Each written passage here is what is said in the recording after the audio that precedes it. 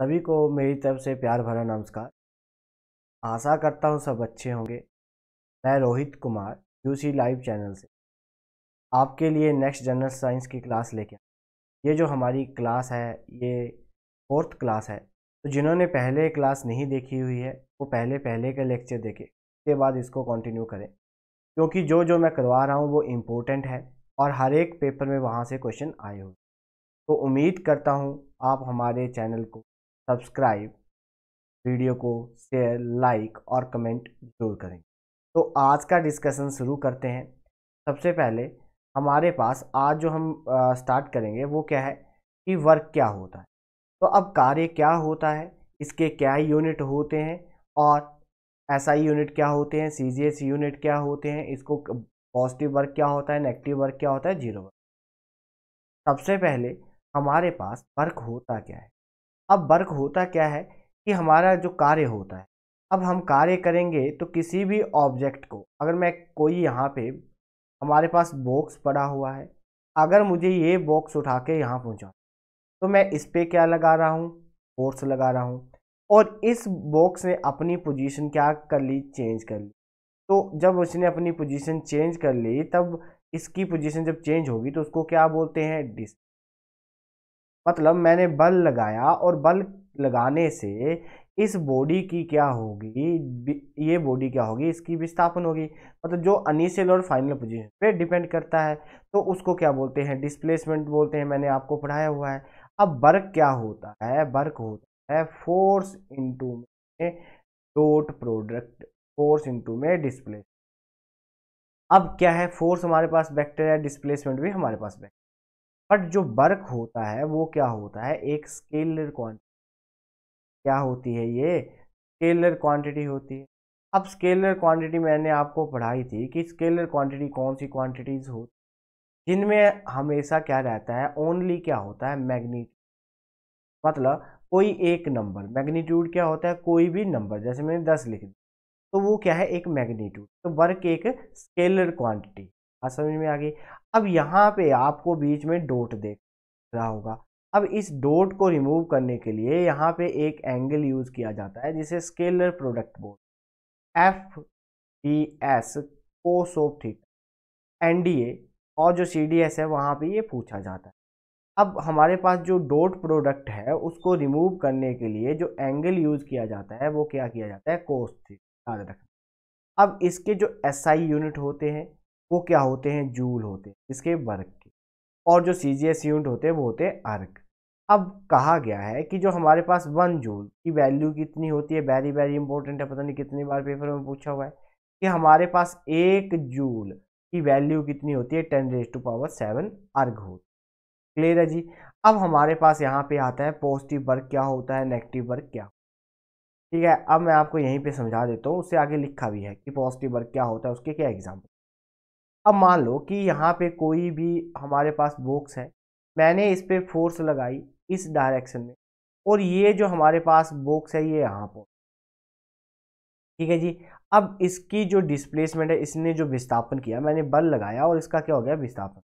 और जिस डायरेक्शन में मैं फोर्स लगा रहा हूँ, उसी डायरेक्शन में आगे चलता जा रहा है। तो इसको बोलते हैं पोस्ट क्या बोलते हैं? पोस्ट मीन्स कि जो हमारे पास फोर्स है और जो हमारे पास डिस्प्लेसमेंट है, दोनों की डायरेक्शन क्या हो?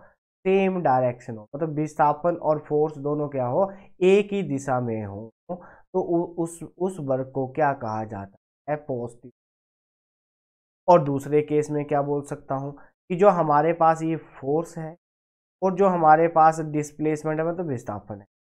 इन दोनों के बीच में जो एंगल है तो ये दोनों आपस में जो एंगल बनाते हैं तो वो एंगल कितना बनाते हैं? ज़ीरो डिग्री अब कोई भी चीज़ है, अगर दो लाइनें आपस में पैलर में हो, ठीक है? पैलर में हो तो इनके बीच में हमेशा एंगल कितना बनता है? जी ज़ीरो डिग्री बनता है। अब हमारे पास जो कोस ज़ीरो होता है, ठीक है? हमारे पास वर्क क्या होता है? फोर्स इंटू में डिस्प्लेसमेंट इंटू में कॉस ऑफ़ थीटा देखते रहना। अब मैं यहाँ पे प्रूव करके भी दिखाऊँगा। जो कोस थीटा मतलब थीटा की वैल्यू क्या है? ज़ीरो डिग्री अब कोस ज़ीरो होता है वन कोस ज़ीरो की वैल्यू कितनी होती है? वन होती है. अब कोस ज़ीरो की वैल्यू वन होती है तो कोस ज़ीरो वन हो गया तो यहाँ पे हमारे पास एफ़ एस तो ये क्या आ गया जी? पॉजिटिव वर्क कौन सा वर्क आ गया? पॉजिटिव वर्क आ गया. क्लियर है जी? कोई कन्फ्यूज़न यहाँ तक. अब यहाँ पे आगे लिखा भी है.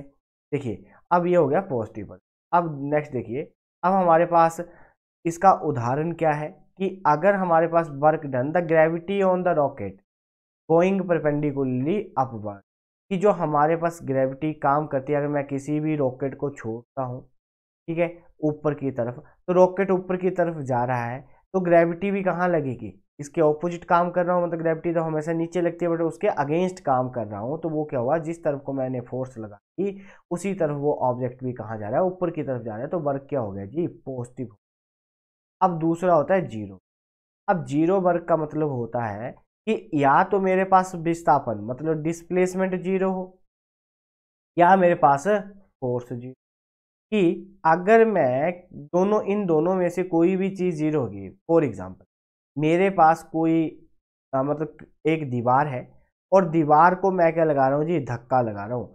यहाँ पे मैं खड़ा हूँ और मैं इस दीवार को धक्का लगा रहा हूँ। मैंने इस दीवार को धक्का लगाया तो ये दीवार क्या आगे मूव करेगी? नहीं करेगी। तो यहाँ पे विस्थापन क्या हो गया दीवार का? ज़ीरो हो गया। और जो उसने विस्थापन करना था वो क्या हो गया? ज़ीरो हो गया। तो आपको पता है कि जो वर्क हो वर्क होता है वो क्या होता है? फोर्स इंटू में डी होता है। अब डी यहाँ पे डी एस ज़ीरो हो गया तो वर्क भी क्या हो गया? अब दूसरी अब यहाँ पे कोई बॉक्स है, यहाँ पे कोई बॉक्स पड़ा हुआ है और मैं इस पर फोर्स ऐसे लगा रहा हूँ। जब मैं फोर्स इस पर कैसे लगा रहा हूँ? परपेंडिकुलर लगा रहा हूँ और इसका डिस्प्लेसमेंट में नहीं होगा तो फोर्स क्या हो? परपेंडिकुलर हो किस पे? डिस्प्लेसमेंट पे। तो भी वर्क क्या होता है? ज़ीरो होता है। कंडीशन ही है। अब इस केस में परपेंडिकुलर का मतलब क्या होता है? थीटा कितना होगा जी? 90 डिग्री होगा। थीटा कितना होगा? 90 डिग्री। अब आपको पता है work is equal to force into में डिस्प्लेसमेंट रहती है और कॉस ऑफ़ थीटा रहता है। थीटा कितना है? 90 डिग्री है। और कोस 90 की वैल्यू कितनी होती है जी? कोस 90 की वैल्यू होती है 90 की वैल्यू होती है, ज़ीरो।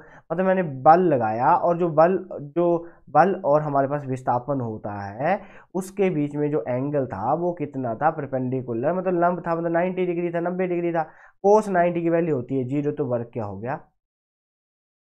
बात समझ में आ गई।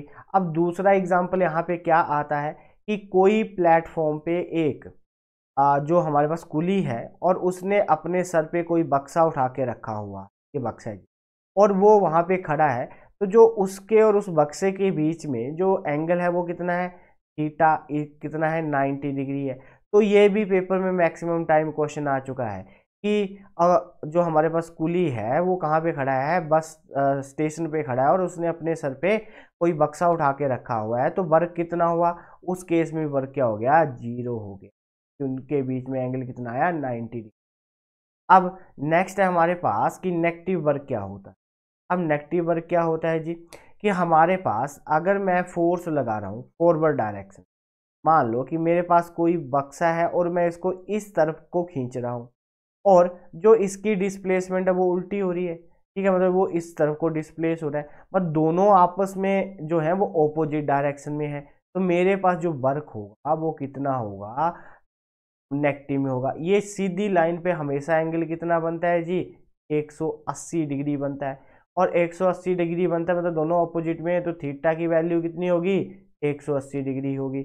अब तुम्हें पता है कि जो हमारे पास कार्य होता है, वो क्या होता है? बल, और जो विस्थापन है, उसके बीच में जो कोस का एंगल रहता है 180 डिग्री। और जो कोस है हमारे पास 180 डिग्री है तो कोस 180 डिग्री की वैल्यू होती है माइनस वन। कितनी होती है? Minus one. अगर मैं यहाँ पे पुट कर दूँ तो मेरे पास जो वर्क आया, वो कितना आ गया जी? माइनस में एफ़ इंटू में डी है। कि इनके बीच में ये कौन सा एंगल हो गया जी? हमारे पास 180 हो गया और वर्क क्या हो गया? नेगेटिव हो गया। अब इसका एग्ज़ाम्पल क्या है? कि हमारे पास कोई गाड़ी है और ये जो गाड़ी है हमारे पास, ये इस डायरेक्शन में जा रही है। तो जो इसमें एक फोर्स लगती है, जो मैंने आपको पढ़ाया हुआ है, फ्रिक्शन, जो इसके मोशन को रोकती है, वो इसके ओपोजिट लगती है। तो ये जो वर्क हुआ, यहाँ पे जो कार्य किया गया, वो क्या हुआ? नेगेटिव वर्क हुआ। ठीक है? जी, जो हमारे पास काम किया गया, वो कौन सा हुआ? जो घर्षण बल के द्वारा जो कार्य किया जाएगा वो क्या होगा? नेगेटिव वर्क होगा। अब फ्रिक्शन मैंने आपको पढ़ाया था कि एक तरह का घर्षण क्या होता है? एक तरह का हमारे पास क्या होता है? अपोजिंग फोर्स होती है, जो दूसरे के मोशन को रोकती है।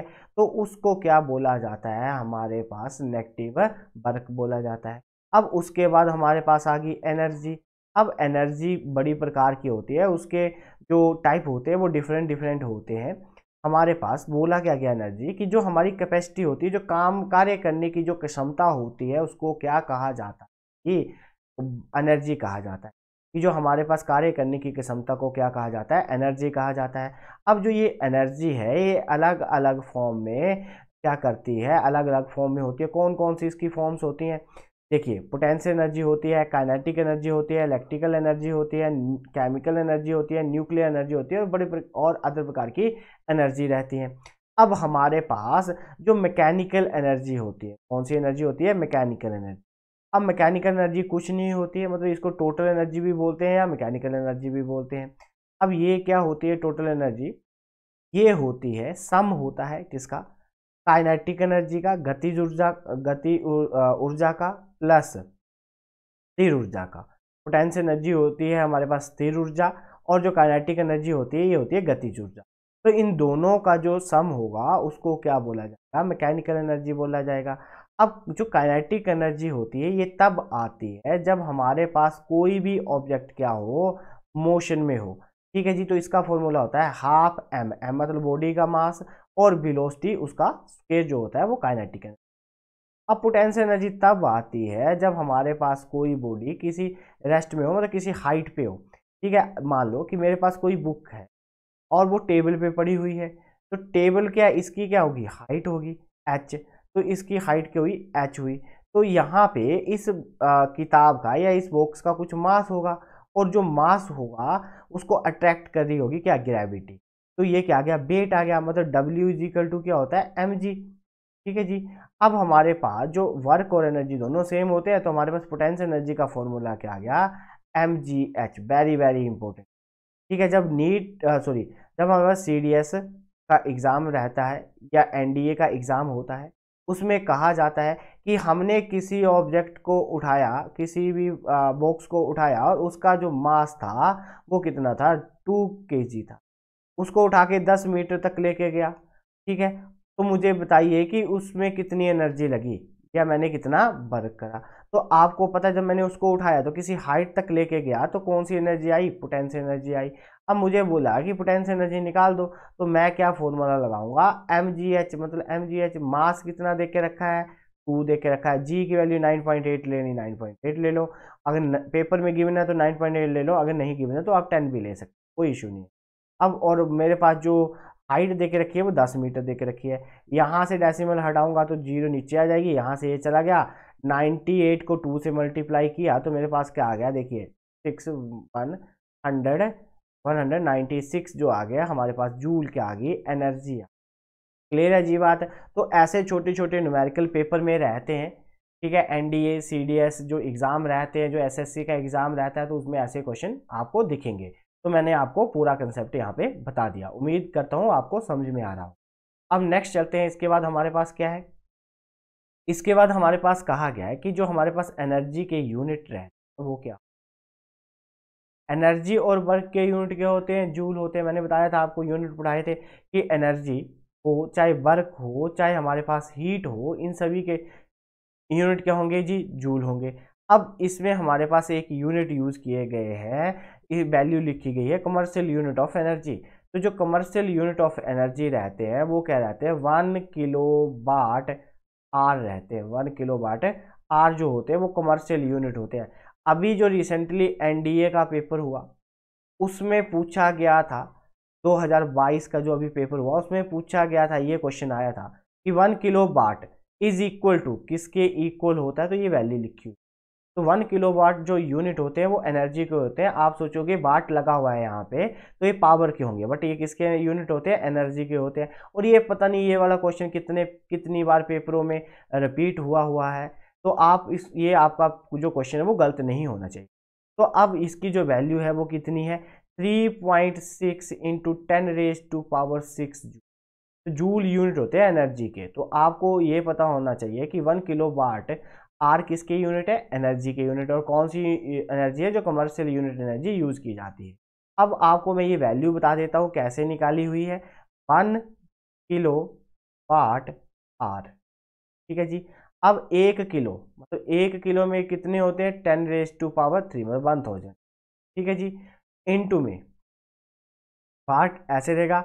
एक घंटे में कितनी मिनट्स होती हैं? साठ मिनट कितनी सेकंड होती हैं? साठ। अब देखिए हमारे पास क्या आ गया?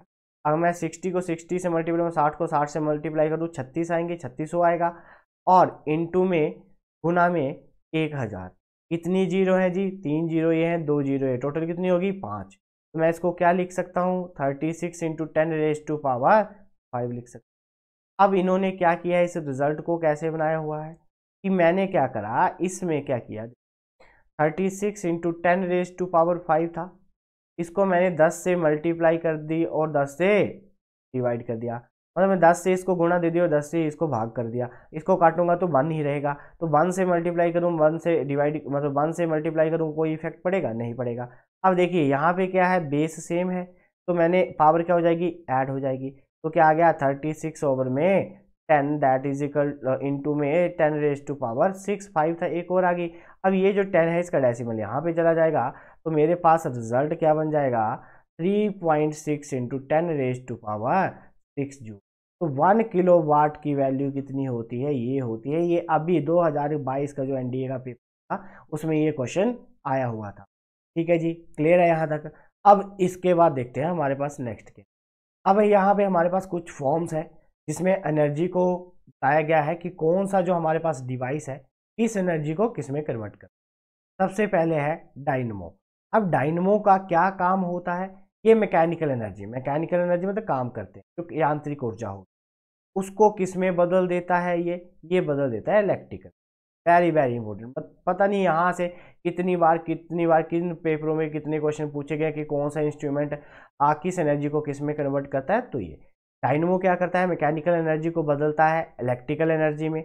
अब हमारे पास उसके बाद है दूसरा कैंडल। दूसरा कौन सा है? कैंडल। अब कैंडल किससे बनी होती है? मोम से बनी होती है। तो जो मोम, जो हमारे पास मोम बत्ती है, वो मोम से बनी होगी तो वो क्या होगा? केमिकल होगा। तो केमिकल जलेगा तो हमें क्या देगा? लाइट देगा। एक तो लाइट देगा और उसके पास हाथ लेके जाऊँ तो हाथ जलता भी है मतलब हीट भी होगी। तो देखिए, ये सीधा सा हो गया कि केमिकल एनर्जी को किसमें कन्वर्ट कर देता है? लाइट में कन्वर्ट करता है और हीट में कन्वर्ट करता है। याद रख लेना कि रासायनिक ऊर्जा को किसमें बदलता है? प्रकाश ऊर्जा में। और उसमें ऊर्जा में मैंने आपको समझा भी दिया कि जो हमारे पास मोमबत्ती है, वो केमिकल से बनी होगी मतलब रसायन से बनी होगी। जब वो जलेगी तो हमारे, हमें क्या देगी? लाइट देगी। एक तो लाइट देगी और दूसरा हमें क्या देगी? उसकी हीट भी होती है तो क्या देगी? हीट एनर्जी देगी। अब माइक्रोफोन जिससे आप गाने सुनते हो। ठीक है, अपने कानों में लगाए रखते हो तो ये क्या होते हैं? अब आपको पता है कि जो आपको क्या सुनाई देता है? गाने सुनाई देते हैं। मतलब आप क्या प्ले करते हो? गाने प्ले करते हो तो वो किसमें होंगे? साउंड में होंगे। तो साउंड एनर्जी को किसमें कन्वर्ट करेगा? इलेक्ट्रिकल एनर्जी में कन्वर्ट है। तो साउंड एनर्जी को किसमें कन्वर्ट कर दिया इसने? इलेक्ट्रिकल एनर्जी मतलब जो ध्वनि ऊर्जा है, उसको किसमें इन्होंने बदल दिया? विद्युत ऊर्जा में इन्होंने बदल दिया। क्लियर है जी? अब इसके बाद हमारे पास जो नेक्स्ट है, अब हमारे पास है लाउड स्पीकर अब आपने देखा होगा कि भाई, आज तो घर पे डीजे बजेगा। ठीक है, आप डीजे लगाते हो, आपके घर पे फ़ंक्शन है और आपने डीजे लगा दिया। अब डीजे लगा दिए तो आपने उसको क्या दी? आपने डीजे लगाया तो आप उस डीजे डीजे में क्या दी? इलेक्ट्रिसिटी दी। और इलेक्ट्रिकल एनर्जी को उसमें किसने कन्वर्ट कर दिया? साउंड में कन्वर्ट कर दिया। तो इलेक्ट्रिकल एनर्जी किसमें कन्वर्ट होगी जी? साउंड एनर्जी में कन्वर्ट होगी। मतलब विद्युत ऊर्जा हमारे पास किसमें चली गई? ध्वनि ऊर्जा में स्थानांतरित होगी मतलब बदल गई। अब उसके बाद हमारे पास है नेक्स्ट सोलर सेल अब आपने देखा होगा कि जो हमारे पास स्ट्रीट लाइटें लगी होती हैं या घरों में जो हमने सोलर लगाए होते हैं तो वो सारे के सारे जो है, उसमें क्या आते हैं? सूर्य की ऊर्जा आती है सूर्य एनर्जी देता है और उससे वो क्या होता है, दिन भर चार्ज होती रहती है और रात को हमें लाइट देती है। तो मतलब सोलर से, सूर्य से एनर्जी आई, कौन सी एनर्जी आएगी? सोलर एनर्जी आएगी और वो किसमें कन्वर्ट कर देगा? इलेक्ट्रिकल एनर्जी में कन्वर्ट कर देगा मतलब लाइट आ जाएगी। तो सोलर एनर्जी को किसमें कन्वर्ट कर दिया? जी, विद्युत ऊर्जा में जिसने कन्वर्ट करा, उसको क्या बोला? सोलर सेल बोला। अब लाइट ट्यूब है। अब आपको पता है, लाइट जो होती है, जो ट्यूब होती है, उसमें हम, वो हमें क्या देती है? लाइट देती है। मतलब हमने क्या किया? इलेक्ट्रिकल एनर्जी दी और वो हमें मतलब हमने उसको करंट दिया और उसने हमें क्या दे दी? लाइट दे दी। मतलब विद्युत ऊर्जा को किसमें कन्वर्ट कर दिया? प्रकाश में कन्वर्ट कर दिया। कोई कन्फ्यूज़न हो यहाँ तक। ठीक है, जो बात नहीं समझ में आएगी, वो मुझे कमेंट्स में बता देना। मैं नेक्स्ट वीडियो में उसको आपको द्वारा फिर क्लियर करवा दूँगा, ताकि आपका कोई भी क्वेश्चन गलत ना हो। अब इलेक्ट्रिकल बल्ब क्या होता है? अब बल्ब क्या होता है? इलेक्ट्रिकल बल्ब अब वो भी लाइट ही देता है तो इलेक्ट्रिकल एनर्जी उसको दी और उसने हमें लाइट दे दी। अगर हम बल्ब के पास जाते हैं, बल्ब पे हाथ लगाते हैं तो बल्ब क्या होता है? गर्म होता है मतलब उसमें हीट होगी। तो देखिए इलेक्ट्रिकल एनर्जी ने इलेक्ट्रिकल एनर्जी जो बल्ब है, उसने क्या क्या किया? इलेक्ट्रिकल एनर्जी को कन्वर्ट कर दिया लाइट एनर्जी में और हीट एनर्जी में। मतलब हमने क्या दिया? करंट दिया। करंट दिया मतलब इलेक्ट्रिसिटी दी। इलेक्ट्रिक एनर्जी दी और उस, वो लाइट में कन्वर्ट होगी और किसमें कन्वर्ट होगी? ऊर्जा में। तो मतलब विद्युत बल्ब क्या करेगा?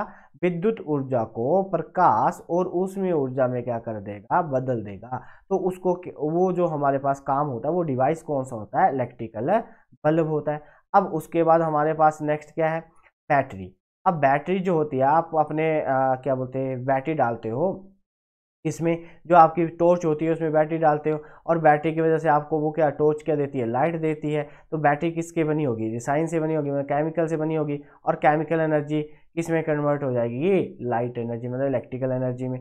तो हमारे पास जो सेल है, जो बैटरी है, गाड़ियों की बैटरी होती है ना तो गाड़ियों में बैटरी लगी होती है तो उस, वो किस, उसमें क्या डाला होता है? केमिकल डाला होता है और जब आप उसको स्टार्ट करते हो गाड़ी को तो वो जो केमिकल एनर्जी है वो किसमें कन्वर्ट हो जाती है? इलेक्ट्रिकल में तो करंट आ जाता है गाड़ी में और गाड़ी स्टार्ट हो जाती है तो उसी तरह हमारे पास ये रासायनिक ऊर्जा को विद्युत ऊर्जा में क्या कर देता है? बदल देता है। उस इंस्ट्रूमेंट को क्या कहा जाता है? उसको है बैटरी।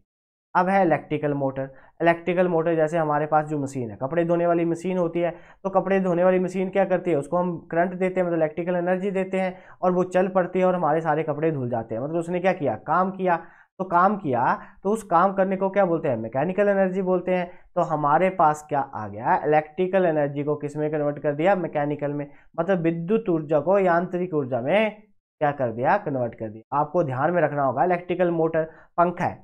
पंखा आपको क्या देता है? हवा देता है। और पंखे को हमने क्या दी? बिजली दी मतलब इलेक्ट्रिकल एनर्जी दी और वो हमें हवा दे रहा है। हवा दे रहा है मतलब उसका काम है हवा देना। तो काम है तो मतलब कौन सी एनर्जी हुई? मैकेनिकल एनर्जी हुई।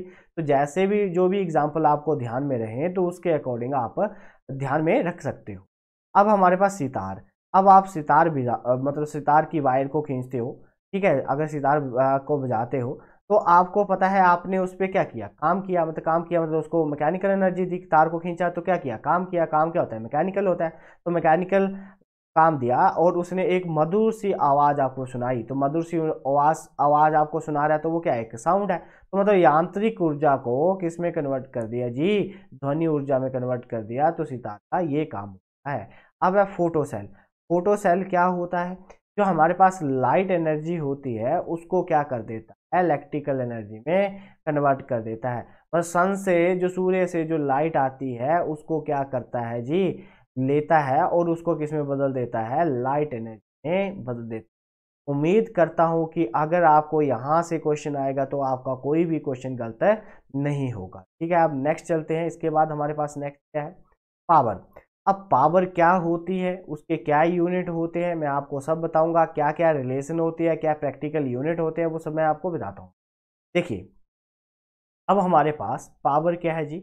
पावर होती है हमारे कार्य करने की क्षमता, कि जो हमने कार्य किया, वो कितने टाइम में किया, उसको शक्ति बोलते कि काम किया हमने और कितने टाइम में उसको पूरा किया तो उसको क्या बोलते हैं? हमारी पावर है मतलब समय सॉरी वर्क कार्य अपॉन समय। उसको क्या बोला? हमने शक्ति बोल दी। ठीक है जी, ये आ गया हमारे पास अब हमारे पास इसके यूनिट बोले तो इसके यूनिट क्या होते हैं देखिए? काम वर्क के यूनिट क्या होते हैं? अभी मैंने आपको बताया क्या होते हैं? जूल। तो क्या होते हैं? जूल। और हमारे पास समय के यूनिट क्या होते हैं? सेकंड। ठीक है जी, क्या होंगे? सेकंड। क्लियर है जी?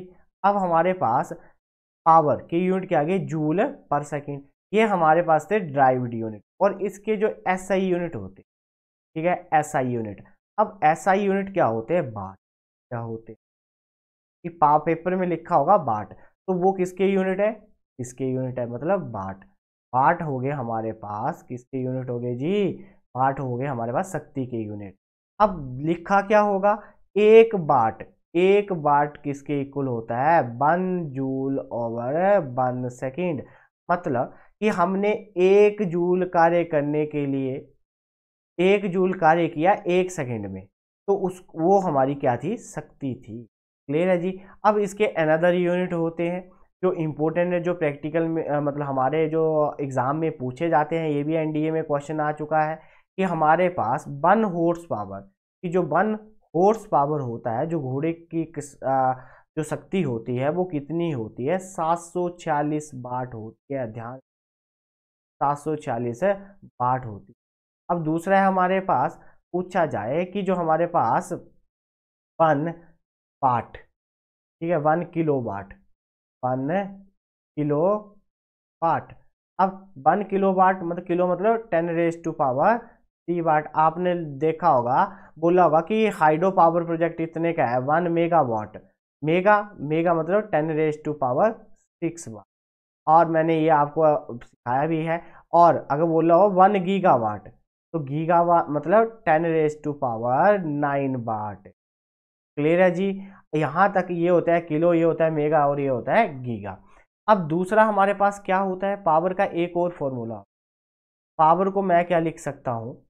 पी आई पी होता है वोल्ट मतलब जो हमारे पास पोटेंशियल डिफरेंस होता है, जो हम पोटेंशियल अप्लाई करते हैं और आई होता है करंट अब हमारे पास एक रिलेशन पावर की ये भी होती है, P is equal to F into dot v मतलब फोर्स इंटू में बिलोस्टी अब ये सी डी एस में भी क्वेश्चन आ चुका है और एन डी ए में भी क्वेश्चन आ चुका है। अब पेपर में क्या पूछा गया था? पूछा गया था कि आपके पास एक ऑब्जेक्ट है, उस पर मैं टेन न्यूटन फोर्स लगा रहा हूँ और वो दो मीटर पर सेकेंड की स्पीड से मूव कर रहा है। तो मुझे बताइए जी पावर क्या होगी? आप बोलोगे, जी, मैंने तो ये फॉर्मूला देखा ही नहीं है, मुझे तो आता नहीं, मैं करूँगा कैसे? तो मैंने आपको बता दिया अभी फोर्स क्या होती है? फोर्स का फोर्स के यूनिट क्या होते हैं? न्यूटन न्यूटन से आपने पहचान लिया, ये मेरे पास फोर्स दे के रखी है। तो क्या आ गया? टेन आ गया। अब मेरे पास जो विलोसिटी है, वो टू है। तो जी पावर की वैल्यू कितनी आ गई? ट्वेंटी आ गई। और ट्वेंटी जो हमारे पास क्या आ गया? बाट क्लियर है जी? अब ये जो क्वेश्चन है, ये एक रिलेशन ये बता दी। अब दूसरा क्वेश्चन एनडीए में क्या आया था? एक देखिए। हमारे पास होता है एक ओम्स लो अब ओम्स लो क्या होता है, उसने बोला था कि जितना मैं, जितनी मैं वोल्टेज दूँगा, उतना ही क्या आएगा करंट आएगा। ठीक है जी, इसने ये बोला था। अब यहाँ पे एक बंदा आ जाता है, उसको बोला जाता है रेजिस्टेंस मैंने आपको रेजिस्टेंस भी बताया था कि रेजिस्टेंस क्या होता है, कार्य करने की, जो कार्य कर रहा है, उसको रोकने की जो उसके पास ताकत होती मतलब ये होता है प्रतिरोध। मतलब जितना करंट फ्लो कर रहा है करंट को फ्लो करने के लिए जाने के लिए, विद्युत को जाने के लिए जो चीज़ रोकेगी, उसको क्या बोलेंगे? जी रेजिस्टेंस बोलेंगे। और इस रेजिस्टेंस के यूनिट क्या होते हैं? ओम होते हैं और इसका सिंबल होता है जीएस ठीक है जी?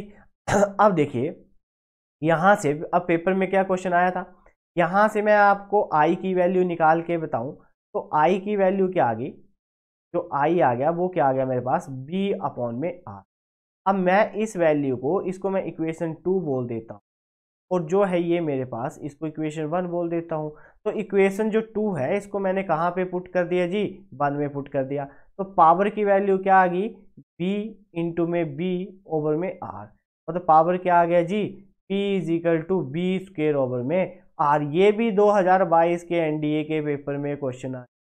कि कौन सी रिलेशन सही है? जो एनडीए जो अभी एनडीए का एग्ज़ाम हुआ 2022 उसमें ये क्वेश्चन आया। कि कौन सी रिलेशन सही है? अब मैं यहाँ से आई की वैल्यू निकालूँ तो मेरे पास ये रिलेशन भी बन जाएगी। देखिए, यहाँ से आई की वैल्यू निकालूँ तो सॉरी यहाँ से मैं बी की वैल्यू निकालूँ तो बी की वैल्यू मेरे पास क्या होती है? आई आर होती है और इसी वैल्यू को मैं यहाँ इक्वेशन फ़र्स्ट में पुट कर दूँ तो पी की वैल्यू क्या आ गई? आई स्क्वेयर आर ये आ गया। तो आपके पास ये भी पूछा था कि कौन सी रिलेशन इसमें से करेक्ट है या नहीं है। अब दूसरा क्वेश्चन क्या आया था? एक और क्वेश्चन आया था पेपर में जो हमारा टेक्निकल का पेपर होता है उसमें आया था।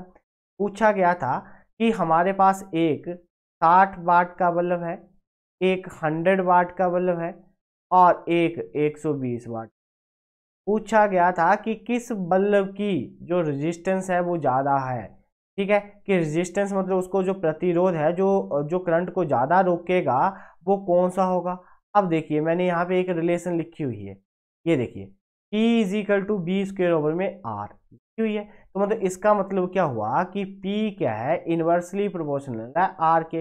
मतलब जहाँ पे रेजिस्टेंस ज़्यादा होगी, ऊपर की तरफ़ लगा रहा हूँ मतलब ये एरो ऊपर जा रहा है मतलब बढ़ रही है। और यहाँ पे ये क्या करिए डिक्रीज करिए तो जिसकी पावर कम, उसकी रेजिस्टेंस क्या है? ज़्यादा है। तो को, किस बल्ब की रेजिस्टेंस ज़्यादा हुई फिर? साठ वाट। तो आंसर क्या आ गया? ध्यान में रख लेना। ये इंपॉर्टेंट है कि एक चीज़ बढ़ेगी तो दूसरी क्या होगी? घटेगी। तो एक चीज़ बढ़ रही है तो दूसरी क्या हो रही है? कम हो रही है। यहाँ तक कोई कन्फ्यूज़न हो। जो बात नहीं समझ में आएगी वो मेरे से पूछ लेना। तो मैंने ये आपको सब बता दिया जो जो क्वेश्चन बनते हैं। अब यहाँ पे बोला गया है, ये देखिए, जो मैंने आपको पढ़ाया कि जो हमारे पास पावर के यूनिट होते हैं, वो क्या होते हैं? बाट होते हैं। क्लियर है? और इसके बाट आर बाट आर मतलब एक घंटे में कितनी मिनट्स होती हैं? साठ होती हैं। कितनी सेकंड होती हैं? साठ होती हैं। दोनों को मल्टीप्लाई कर दिया थर्टी सिक्स हंड्रेड जूल जो आ गई वो वन वाट आर की वैल्यू अब नेक्स्ट हमारे पास देखिए नेक्स्ट है। हमारे पास ग्रेविटेशनल ग्रेविटेशन क्या होती है? ठीक है और ग्रेविटी क्या होती है और किस पे डिपेंड करती है और कहाँ पे कितनी वैल्यू होती है मैं ये आपको फिर समझा। देखिए एक सेकंड में इसको इरेज कर लेता हूँ फिर यहीं पे आपको आ, एक सेकंड रुकना। हमारे पास, क्या यहाँ से मैंने इसको इरेज किया? अब यहाँ पे मैं आपको जो नेक्स्ट है, जो हमारे पास ग्रेविटेशन होती है, क्या होती है, कैसे काम करती है जी की वैल्यू कहाँ पे कितनी रहती है, कहाँ से क्या क्वेश्चन बनते हैं, ये अभी मैं आपको सब समझा तो आप हमारे चैनल यूसी लाइव चैनल को सब्सक्राइब ज़रूर करें। वहाँ पे आपको हर एक प्रकार की जो वीडियो है, जो हमारे पास सीरीज़ चली हुई है, वो हर एक एग्ज़ाम के पॉइंट ऑफ़ व्यू से इम्पोर्टेंट है। तो आप हमारे साथ जुड़े और अपने जो जिस भी टेस्ट की आप तैयारी कर रहे हो उसको कंटिन्यू करें ताकि आपको अच्छी जो मिले। तो आप अपना एक टाइम टेबल बना के इन जो लेक्चर है वो देखें। जो बात आपको समझ में नहीं आती है उसको तो आपका कोई भी जो क्वेश्चन है वो पेपर में गलत है, नहीं होना चाहिए। हम यही उम्मीद करते हैं कि आप ध्यानपूर्वक इन लेक्चरों को देख रहे और तैयारी अच्छे से कर रहे हो। ठीक है जी। एक सेकंड, बस ये हो गया देर अब अब उसके बाद हम, मैं आपको समझता हूँ कि ग्रेविटेशन क्या होती ये कैसे काम करती है, कहाँ पे ग्रेविटी कहाँ पे एक्ट करती है, ये मैं आपको अभी अब जो हमारे पास जी ग्रेविटेशन होती है, वो क्या होती है ग्रेविटेशन लो क्या होता है, कैसे काम करता है? अब एक बात ध्यान में रखना कि हमारे पास जब भी दो मासिस के बीच में, दो बॉडीज़ के बीच में जब भी दो बॉडीज़ के बीच में फोर्स लगती है, उस फोर्स को क्या बोलते उस फोर्स को बोलते हैं ग्रेविटेशनल क्या बोलते हैं जी?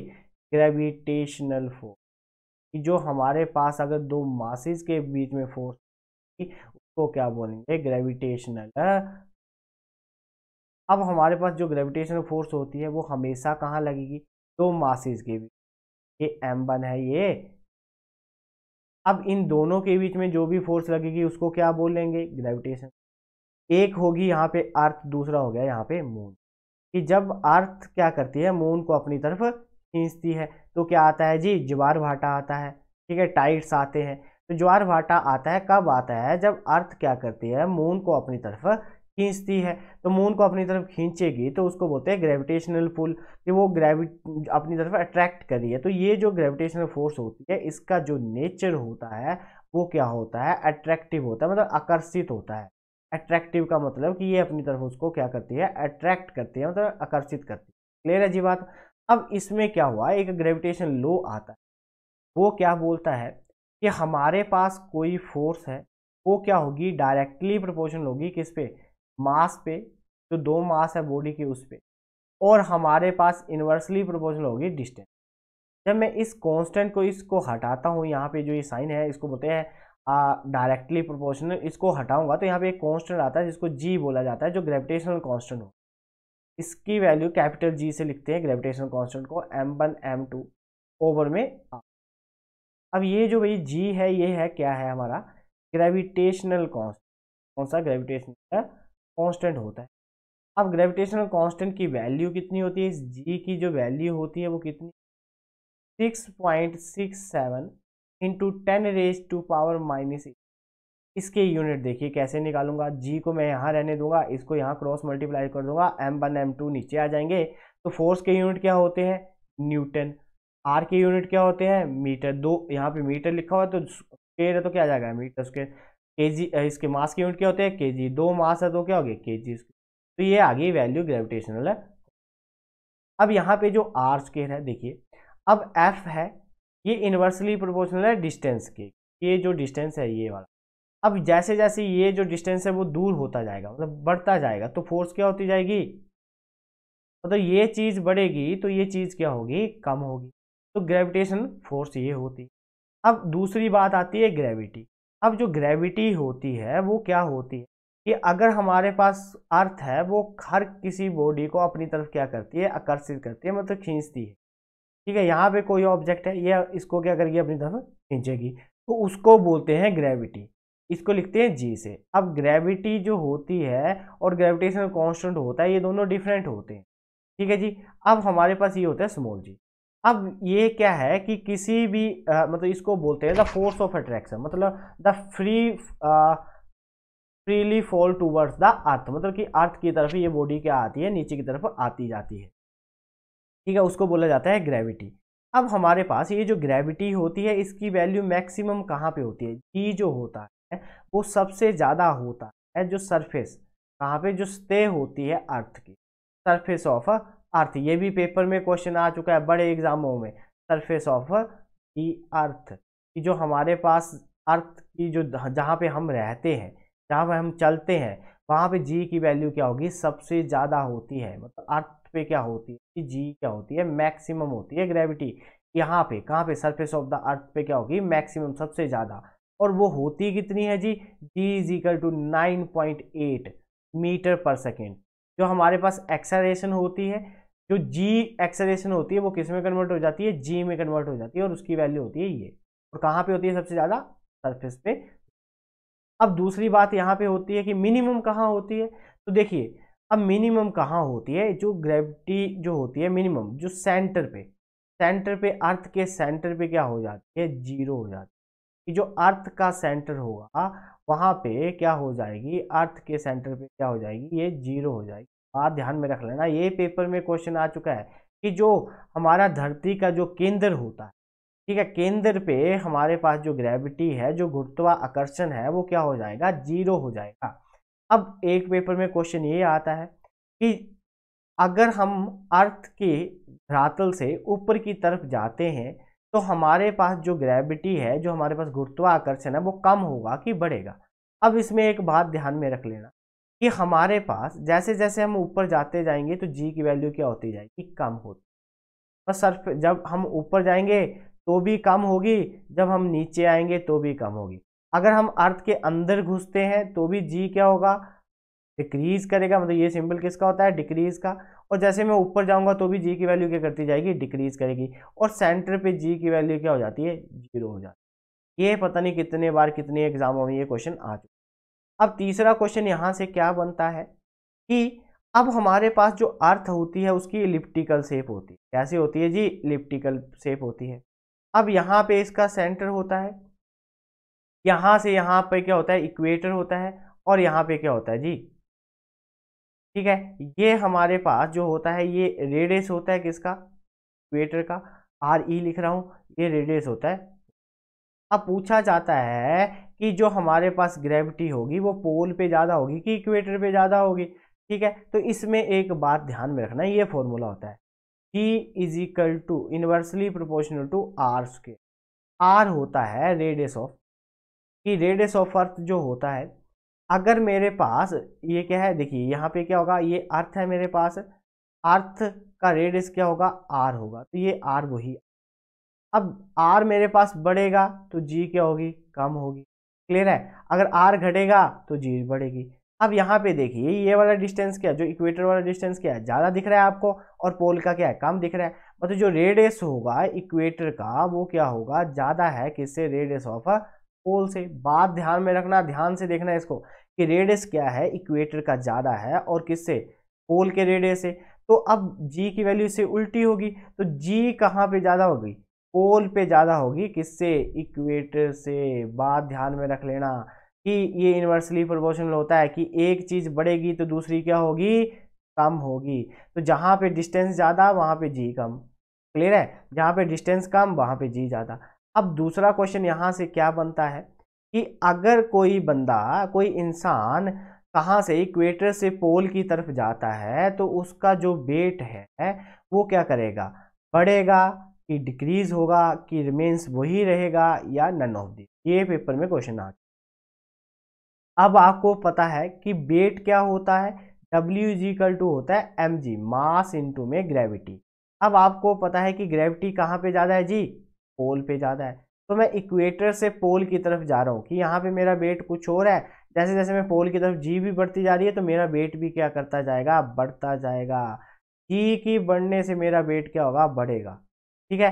अगर मैं पोल से इक्वेटर की तरफ़ जा रहा हूँ तो मेरी पोल पे जी की वैल्यू क्या है? ज़्यादा है। किससे? इक्वेटर से। तो अगर मैं इक्वेटर की, इक्वेटर पे क्या है? कम है। तो मैं पोल से इक्वेटर की तरफ़ आ रहा हूँ तो मेरा वेट क्या होता जाएगा? कम होता जाएगा। तो पेपर में क्वेश्चन किसी भी तरीके से पूछें तो आपका क्वेश्चन गलत नहीं होना चाहिए। मैंने आपको ये पूरा ही समझा दिया है। अब ये सारा ही मैंने यहाँ पे लिखा हुआ है कि कहाँ पे हमारे पास जो ग्रेविटी होती है, वो ज़्यादा होती है, कहाँ पे कम होती है जी किस पे डिपेंड करती है और किस पे डिपेंड नहीं करती है, ये मैंने आपको बता दिया कि कहाँ पे ज़्यादा होती है, ठीक है। अब नेक्स्ट हमारे पास स्केप वेलोसिटी अब स्केप वेलोसिटी क्या होती है? कि ऐसी वेलोसिटी होती है जिससे मैं किसी भी ऑब्जेक्ट को अर्थ से फेंकूं तो वो अर्थ के एटमॉस्फेयर को क्या कर जाए, क्रॉस कर जाए और कहाँ चला जाए? जी, स्पेस में चला जाए। कि वो कहाँ पहुँच जाए? स्पेस में पहुँच जाए। जैसे हमारे सैटेलाइट है, जैसे हम टीवी देखते हैं तो वहाँ पे सिग्नल आता है तो वो कहाँ पे है? स्पेस में है। तो ये जो जो भी हमारे पास इस वेलोसिटी को ऐसी वेलोसिटी जिससे हम अपने ऑब्जेक्ट को अर्थ से बाहर फेंक दें। अर्थ से कहाँ फेंक दे? बाहर फेंक दे। उस वेलोसिटी को क्या बोलते हैं? स्केप वेलोसिटी बोलते हैं। ठीक है? अब जो स्केप वेलोसिटी होती है, उसको मैं लिख देता हूँ बी ई अब इसका जो फॉर्मूला होता है, वो under root two g R होता है। ये नीट सॉरी ये एनडीए जो हमारे पास एनडीए और जो सीडीएस वाले हैं, वो ध्यान से देखें कि हमारे पास जो ई स्केप वेलोसिटी की वैल्यू होती है, वो टू रूट में जी होती है जी ग्रेविटी होती है आर जो होता है रेडियस ऑफ़ अर्थ होता है।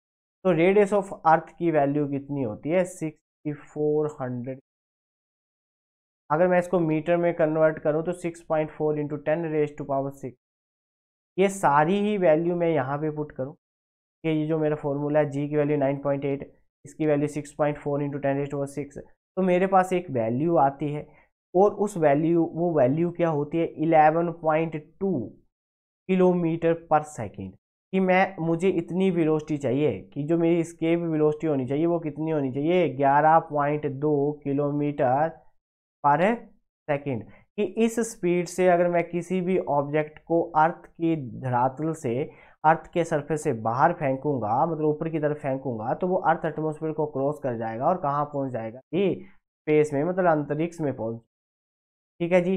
तो हमारे पास जो स्केप वेलोसिटी की वैल्यू होनी चाहिए, वो इतनी होनी चाहिए तो ही हमारा ऑब्जेक्ट क्या कर सकता अर्थ को अर्थ से बाहर जा सकता है अदरवाइज़ वो अर्थ से बाहर नहीं जाएगा। अगर मैं मील्स में बोलूँ तो वो क्या होगा? सिक्स पॉइंट नाइन मतलब छः छः दशमलव नौ नौ सिक्स जो मील पर सेकेंड से वो वेलोसिटी चाहिए मिनिमम वेलोसिटी होती है मतलब इससे कम होगी। मान लो कि यहाँ पे मेरे पास ऐसे बोला होता कि वेलोसिटी है दस पॉइंट एट तो क्या ऑब्जेक्ट किलोमीटर किलोमीटर पर आवर क्या किलोमीटर पर सेकेंड क्या हमारा ऑब्जेक्ट अर्थ के बाहर निकल जाएगा? नहीं जी, नहीं निकल पाएगा। क्योंकि तो हमें पता है कि उसको बाहर फेंकना है तो कितनी स्पीड चाहिए? ग्यारह दशमलव दो किलोमीटर पर सेकेंड की स्पीड से फेंकना पड़ेगा तो ही वो बाहर जाएगा।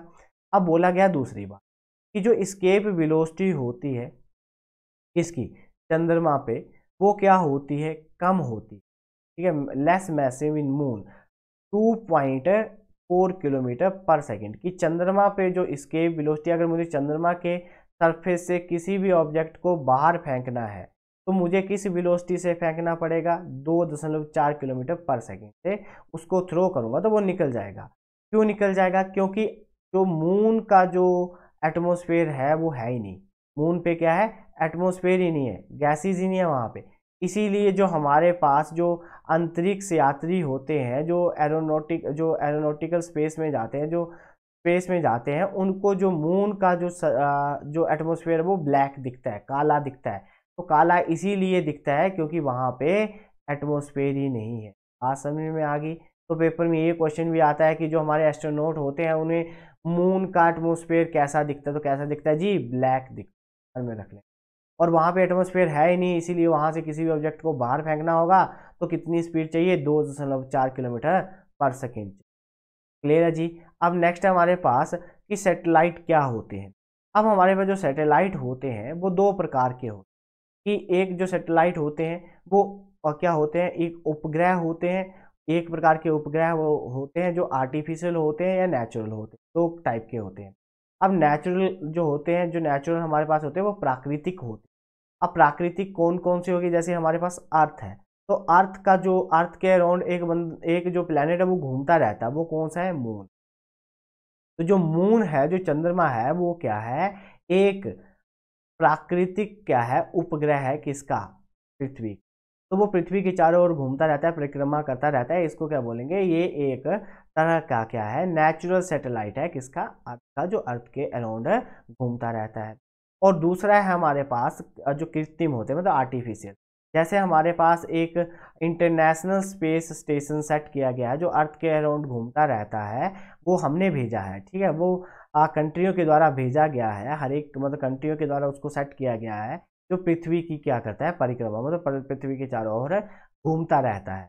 तो उसको क्या बोलता है, बोला जाता है, अंतर्राष्ट्रीय जो अंतरिक्ष स्टेशन है, वो क्या है हमारे पास, उसको उसको किस, वो कौन सा सैटेलाइट है? जी तो वो है आर्टिफिशियल सैटेलाइट जैसे इंडिया ने कोई भी अभी, जैसे आपने न्यूज़ों में सुना होगा कि इंडिया ने ये सेटेलाइट लॉन्च कर दिया, ये सेटेलाइट लॉन्च कर दिया, ठीक है? तो वो हमने खुद लॉन्च करे हुए हैं तो उनको क्या बोला जाएगा? आर्टिफिशियल मतलब कृत्रिम जो हमारे सेटेलाइट है, ठीक है? वो क्या है? कृत्रिम सेटेलाइट रहते तो उम्मीद करता हूँ कि आपको समझ में आया होगा, ठीक है? जो बात नहीं समझ में आई होगी तो आप मुझे कमेंट सेक्शन में बताएँ, मैं आपको नेक्स्ट क्ला नेक्स्ट क्लास में ज़रूर आपको उसमें समझा दूँगा। ठीक है? और उम्मीद करूँगा कि आप वीडियो को ढेर सारा प्यार देंगे, हमारे चैनल को सब्सक्राइब करेंगे और वीडियो को शेयर, लाइक और कमेंट। ठीक है जी? धन्यवाद।